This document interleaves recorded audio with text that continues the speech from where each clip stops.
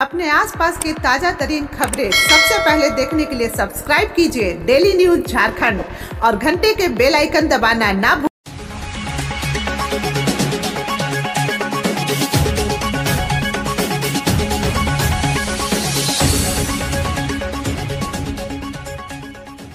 नमस्कार daily news Jharkhand में स्वागत है आपका। मैं हूँ इम्तियाज़ अंसारी, प्रस्तुत है समाचार। भवनाथपुर से हमारे संवाददाता सतीश कुमार ठाकुर की रिपोर्ट। भवनाथपुर सेल, आरएमडी ने मेराल भया भवनाथपुर रेलवे ट्रैक अब पूरी तरह चोरों की गिरफ्त में आ चुकी है। उक्त 35 किलोमीटर रेल लाइन की पटरी की चोरी चोरों के द्वारा जगह जगह से काटकर बेखौफ तरीके से कबाड़ी दुकानों में बेचा जा रहा है। ताज़ा मामला सोमवार की रात की है, जहाँ बेखौफ चोरों ने रेलवे साइडिंग स्थित डोलोमाइट पत्थर डंपिंग यार्ड से, यार्ड के समीप से करीब 100 फीट रेलवे पटरी को उखाड़ने के बाद गैस कटर मशीन से काट कर ले गए।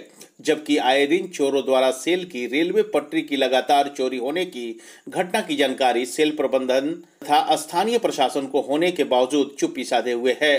चोरों के द्वारा लगातार इस तरह की घटना को अंजाम दिए जाने से रेल प्रबंधक एवं पुलिस प्रशासन के विरुद्ध स्थानीय युवाओं में आक्रोश व्यक्त है।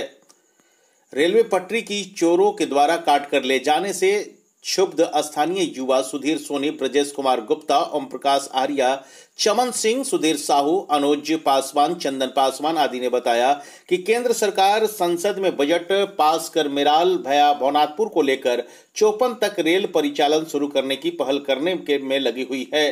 तो दूसरी ओर रेल, सेल प्रबंधन और स्थानीय प्रशासन की निष्क्रियता के चलते चोर रात के अंधेरे में रेलवे पटरी को उखाड़ कर ले जाने में सफल हो रहे हैं।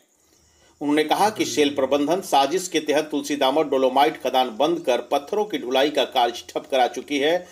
अब जबकि मेराल से लेकर भवनाथपुर होते हुए चौपन तक रेलवे लाइन परियोजना शुरू करने की केंद्र सरकार अपने बजट में ले चुकी है तो सेल प्रबंधन और स्थानीय प्रशासन चोरों पर नकेल न कसकर उन्हें रेलवे ट्रैक चोरी करने की खुली छूट दे रखी है। अगर यह रेलवे ट्रैक ही न रहा तो केंद्र सरकार की मेराल भया भवनाथपुर से चौपन तक पैसेंजर ट्रेन चलाने की योजना भवनाथपुर वासियों के लिए एक सपना सरीखे जैसा होकर रह जाएगा।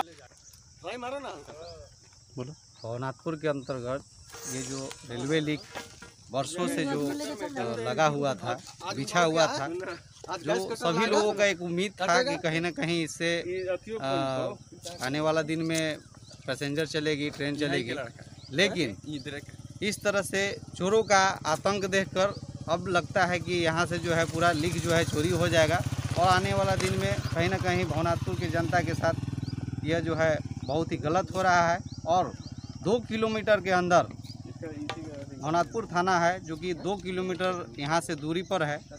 आँख में काला चश्मा। लगाकर और इस कार्य को देखते हुए नज़रअंदाज कर रहे हैं। इसलिए कि दो किलोमीटर के अंदर पेट्रोलिंग भी हो रहा है हर तरह से नज़र भी रख रहे हैं। लेकिन अभी तक किसी भी तरह से कोई कार्रवाई भी नहीं हो रहा है ना ही जाँच पड़ताल हो रहा है जबकि कुछ दिन पहले आपका पूरे अखबार में भी इस तरह का न्यूज़ आया था जो कि पूरे टाउनशिप तरफ़ जो है रेलवे लिख चोरी हुआ है।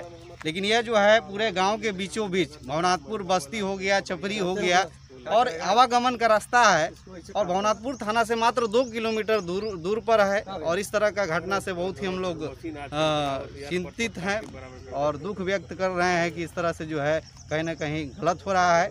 इस पर प्रशासन जो है अपना नज़र बढ़ाए देखे इसको और ध्यान देकर किसी तरह इसको सुरक्षा करे बचाए।